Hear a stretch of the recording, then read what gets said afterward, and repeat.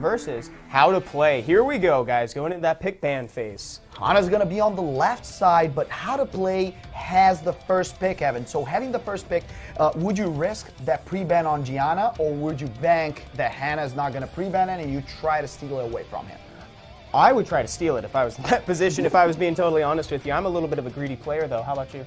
Yeah, I would do the same. We mm-hmm. have to remember that there's ragdoll on both sides too. So pre-ban on Hathor for the side of Hannah and pre-ban on Chiwu. That came a little to out of left field, to be honest. I wasn't expecting something like Very that. Very interesting. No LDs pre-bans. They are just gonna let leave it all on the field. Now, something that I noted is that Hannah is not really a Ciara and Gianna user. We never saw them pair Ciara with Gianna throughout the whole time we were watching. Yes. There it is. How to play locking down Gianna early. Ragdoll coming out as a response from Hannah. Who's going to be the second pick here? It's a good time to kind of play the neutral game right now. Yeah, but I can see Hannah shifting to more of a bruiser comp since he lost the Gianna and he's not going to have an opening to pick Hathor too. So we're not going to see Hathor Ganny coming on on this first game. So yes, indeed, Long. bruiser. Uh, Harmonia probably coming in. Tyrannus, a very strong pick. Let's see if How to Play tries to steal any of those or he just lets it go and lets him have it and plays full. And that's what we see. He Here steals a Tyrannus. Nice. Mo Long feeling right at home in this RTA season, coming back with a bruiser as a response to some quick cleaves. Bolverk, and you called it. the Harmonia. expected Harmonia. Now, how to play has to decide am I going to bring lots of damage to try to nuke these monsters, or I'm going to just control him, go in a slow late game. His only survivability is Tyrannus so far. So if he doesn't get the control in, it's going to be really tough to deal with Hannah that has the last pick, and here the Tian Lang comes in to counter the Ragdoll. Great. I'm a huge fan of those last two picks. Nephthys is a giant threat. There's, you always say, one turn immunity is not immunity, so Nephthys is going to be a huge threat for them, and Tian Lang completely countering Ragdoll. I'm expecting some type of immunity or something to feed off the Bolverk. Nice. Exactly. The Amelia comes in amazing against Nephthys. Uh, very dangerous against the Gianna, to be completely honest. So we're going to see the bans on each side right now. Uh, these players have been playing an amazing season, Evan. Do you expect who to get the first turn right here? I think how to play is going to be taking the first turn on this one. I mean, they got, Completely agree with you. They got you. the fast Gianna. Too bad it got banned out. And Yeah. With the speed leader. I think everything's set up for them to get that. Completely agree with you. Can he get the control in with only one immunity on the field? Will he risk it? Like we have to see also, is this Molong a vampire Molong? That is would it be a spare cute. Molong? That is would it be a violent so cute if it Molong? was. I would I'm love guessing see violent that. because a vamp Molong would make my evening. Early morning. And here we go to match number one of the semifinals. Hannah against How to Play. Let's see who gets that first turn. How to play setup for that. Nephthys is going to be taking that first turn. Has a little bit of an awkward turn here. Everybody's willed up at this point, so not a lot is going to happen from that first turn. and shield. We're not going to see any kind of stuns. He only strips the buffs from the Molong. Bolverk five stacks right off the bat here. Taking his time to think about who he's going to be reducing right now. I'd uh, I'd like to chip away at the Tyr- yeah, and sure enough, he chips away at the Tyrannus. Exactly, it's the reviver. You got to go for him. There are no heals on that team, so Molong can get the snipe right now and prevent Tyrannus from having that second life real quickly. Harmonia gets it. She can protect her team or go for a sleep. Big reckless and not a lot of damage returning Molong there. Considering Tyrannus is a defense-based monster, not going to be a lot coming back out. Beautiful, Brock. She gets the best of two worlds. She gets the heal, protects her team, and now she can try to sleep. But remember, the Gani will get to reset. Oh, and Ganny, here he comes. He's ready to ventilate. He's ready to ventilate the Tyrannus, but he's thinking about it. He's taking his time to think about this. He's taking a little long, just making sure it's the right call. Awesome proc from Ganymede. Gets everything. Gets the cake and gets to eat it too. And now, Tyrannus in a very sport, important turn. If he gets the proc, he can buff defense. No, he doesn't get it. Now the Ragdoll can chip away again. Remember, he was reset, so now he has another life. You have to kill him, not once, not twice, but three times. That's a lot of death. Tian Lang getting ready to put the defense break out on Harmonia.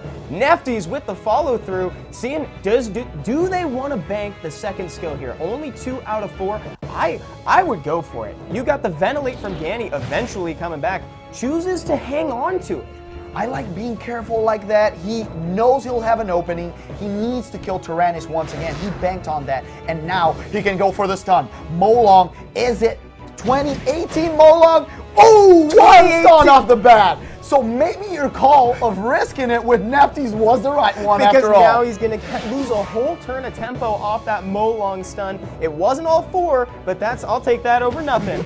That's 25%, That's baby. 25%. Here comes Ganny trying to get a very important glancing. I would go for the Molong because the Death Break is the most dangerous threat to his team right now. The Ragdoll will try to kill and maybe a Brock. no, that's dot range too. That is so unfortunate that he resisted it because he might have gotten a free kill off. Tyrannus with the stun on Harmonia. And now, again, the other panda gets another stun. Bolverk loses the turn, and little by little, the proc from Nephthys might That's the down. turn. That's the turn How to Play has been fishing for this whole time. All those debuffs set up. He's going to make some big plays coming up here. Tian Lang just doubling down, getting a nice stun on Molong that nobody even asked for. The Desperity on Lang just shining on this match. He has the ventilate up once again, remembering that the Tyrannus didn't die for the second time. So he goes for the aggressive play and is going to lock down the team once again. Ragdoll needs to kill him, but no proc for you, sir. So now the Nephthys will have the opening to lock him down for one more turn, Evan. Did you expect this? No, I didn't. She's going to do it again. That was excellent turn counting from How to Play, remembering that Tyrannus hadn't died yet, so he didn't need to overcommit to that and ventilate him by accident.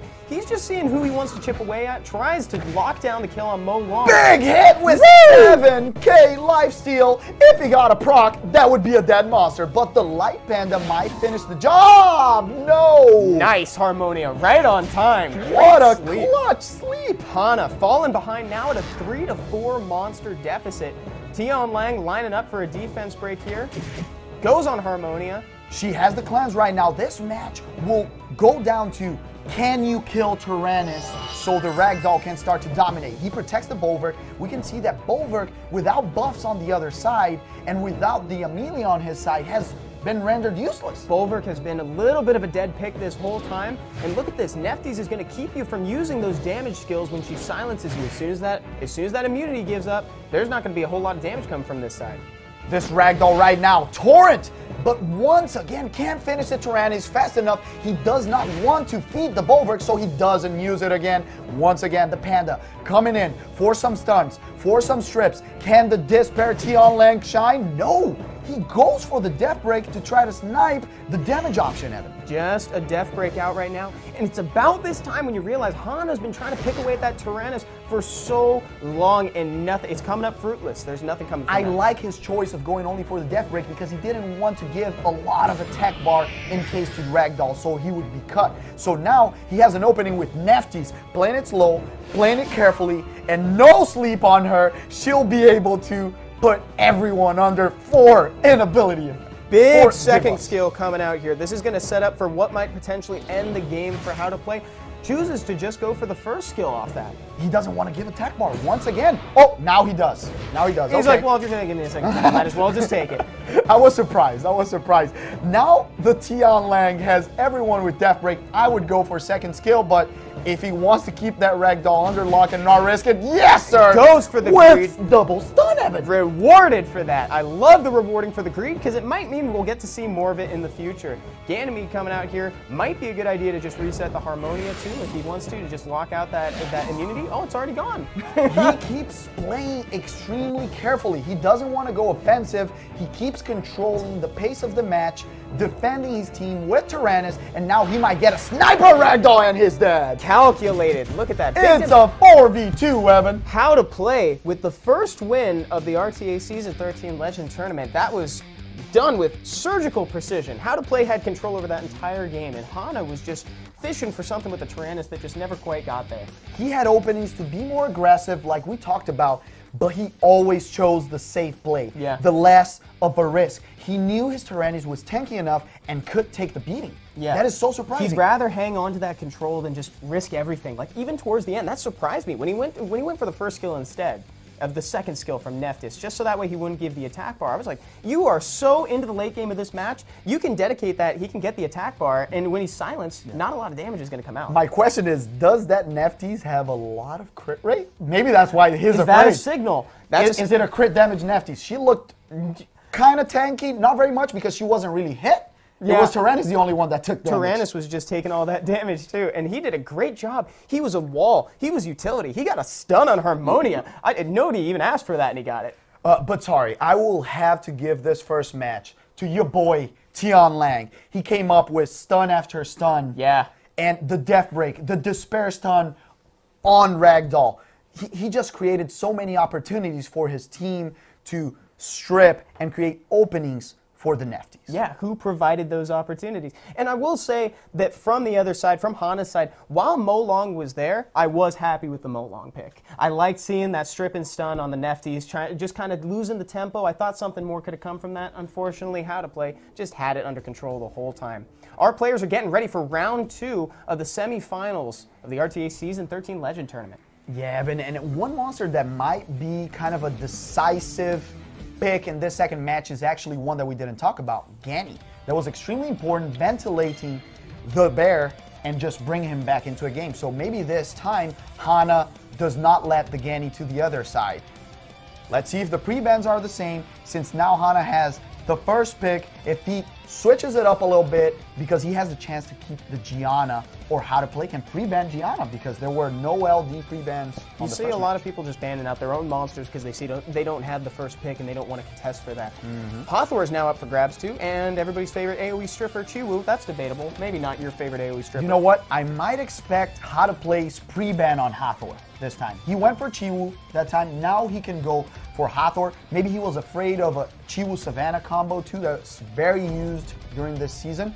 Yes. Oh, look at that. You called it. Savannah's out, Nephthys is out. Hannah's like, I've seen enough of that. I don't need all those debuffs on me. I like my other skills. So I'll tell you something. We haven't seen Hannah play a lot, but How to Play has because he does not want the Savannah Chiwu combo. Yeah. And Hannah with the Hathor first pick, and now he denies How to Play to one of these strongest monsters. The Gianna comes in. Uh, if you are Hannah, do you go for those monsters that can be controlled? Are we going to see the Dragon Knights coming out right now? Or would you still uh, bring some immunity, maybe some other ways to deal with a Ganny I expect that we're probably going to see some damage units coming out here. I, I at least hope that. A Dragon Knight would be really fun to see. I like the how to play lockdown that Ganymede pretty early just to just to deprive Hannah of the other half of the Ganny Thor combo. Mm-hmm. Ganny's just such an incredible facilitator. Like he'll just make any any comp work with that ventilate. Exactly. And now thinking about it, goes for the bruiser option once again and stealing the, the Tyrannus. Tyrannus. Oh, great. I love the spite. that is so good. The Tyrannus was instrumental last game for how to play, and this time Hannah takes it over. Now, How to Play has the option to respond with some fire units, with maybe some people that can control attack bars, a lot Pater. of control. Pater to counter the Hathor. I'm not afraid of your Hathor. I can reset her with Ganny. I can put immunity on my monsters. and we might see another type of threat right now coming in from how to play. And he brings. Keeping us waiting on this how to play. I can't wait to see this. Yes. The Arda. The so, Arda. So far, that's so far that's a great pick. There's nothing. There's nothing out here that can immediately threaten your Arda, save for the Molong's third skill. But it's yeah, it's a lot of damage you'd be taking. I, I think it's it's kind of dangerous Bolverk. into this composition. Bolverk. Uh, the snipe against the Artemiel, it's really hard to come back from. I can see a Gianna ban right here and him playing a slow game, sniping off the Arda and going all in. How to play goes with the Yan Hong last pick. Excellent monster to keep his team just healthy. A lot of sustain, but uh, I don't know. I really like Hannah's picks in this case. Yeah, there's Hannah no picked, revivers. Hannah picked really well. Uh, and we're going to see the Molong ban. The, the Gianna ban was expected. Gianna, like yes, Gianna very clear. Ban. I think How to Play is thinking that if he leaves the Bolverk in, he can maybe render it a useless-ish pick. I don't want to completely say useless, but he's, he has control over how useful that unit is in the mid to late game. The question is: Is the first turn from Hathor or from Yan Hong? Who's going to take it? Yan Hong. There we that go. That super fast base speed. So that tells us that this is a violent Hathor, not a swift Hathor. Everyone's on will shield because of that big Bolverk misses oh, the trip, Evan. And there's not a whole lot for Hathor to do. She can go for the second skill and try to proc into a third skill, but even then, I think that that's might be throwing away a potential for a third skill. He needed that strip because it would give a tech bar to his team, make the Ganny go and reset one of the one of the monsters that would kill on his team. Now he has the option to use the combo with Bolverk and with Icarus. Who's he gonna snipe? Going for Pater early, halfway through the life. Can Icarus? Oh, Ganny gets a turn. He can reset the Hathor if he wants to. Third skill is now locked down. No sleep's going to come out. Icarus Probably going to fit. Finishes off the Pater, forcing How to Play to be at a 3 to 4 monster deficit from the start. Now with the reset from Ganny, I don't know if the pick on killing that monster was the right one. I would have killed Ganny because I'm extremely afraid of Ganny resetting my whole comp, resetting the Tyrannus, resetting the Hathor. He's a big threat. If this Archangel starts stunning his team, he's gonna get controlled gets the provoke on the Yanhong, rendering her useless for this turn. No sleeps are going to be coming out from Hathor anytime soon. Like you said, that third skill from Ganny, even when it's refreshed, she's not going to be able to get one off. There are no immunity stacks on this side, so Hathor is just going to lose the third skill as soon as it's available. He goes for the reset cool time on Yanhong. She's going to have Strip, heal whatever she wants, remembering that she not only heals but feels attack bar that stun from Tyrannus coming in Big the clutch. Stun. Artemio backing up his backing up his friend Yanhong right there with a stun of his own. Uh, Hathor still recovering from that steel magic from Ganny early on. She's still reeling from that and getting hit by Artemio. Everyone's critting weirdly on this. Let's see if the Bolverk also crits because if the Artemio keeps controlling no crit from Bolverk, he needs that glancing hit to come in on the Hathor because she already has the sleep. He goes he goes for the Icarus, actually. The best of two worlds. He can also use it on Hathor right now and prevent that sleep on the big boy Artemio. Oh, keeps going keeps going. He wants to get rid of one of the snipers, Evan. And we're already in that position that we were talking about in the pick ban phase. How to play, just choosing to keep. I mean, Bolverk is not posing any sort of threat. There are no there are no stacks of anything coming out from anywhere. So Bolverk's just going to be sitting with two for the foreseeable future. Yanhong charging Vitality on Ganymede gets a proc. Blade Fan on Icarus to do some additional damage, and Ganymede gets his play of the game. Now he has a big choice. Does he go for the aggressive play on Tyrannus or Hathor? Tyrannus with a big proc. He can give a big punch with his second skill and with or, the or try or try a stun on the Arna. Goes for the big hit on Yanhong. Half the life is taken away. That's like that looked like Bolverk used all five stacks on her. This is definitely a crit damage on Hong because she only has 30k, she needs this glancing right now. Needs to keep chipping in damage, but the Archangel keeps bringing it back. Beautiful proc. She'll have all skills back on the next turn. Now Ganny has an opening. He's really chipping away at Icarus right now. Doesn't want to see that third skill come out again. Doesn't want to accidentally use another unit when he's not expecting it. Bolverk here, just going to put a little bit more damage in. There's really nothing to do here. Bolverk was picked into a team with no buffs on that side. That's the thing. That's why I wanted to snipe the Ganny and not the Pater. The Pater feeds the Bolverk. The rest of the team doesn't. Exactly, because now you're almost killing your own unit when you kill the Pater. The Ganymede is just going to keep refreshing Yanhong, Artemio. It's going to be so annoying for your team. This is down to can this big Archangel stun and control the other team? If he can, How to Play might be able to turn this around. Otherwise, he has full control over this. Hannah has it, but now he has the option. Can I snipe this? He goes for her. Almost dead. Danny could finish it off. What we're probably going to see, Hannah's probably going to take this into the mid to late game and then one-shot somebody as soon as somebody's not expecting it when the HP gets declined.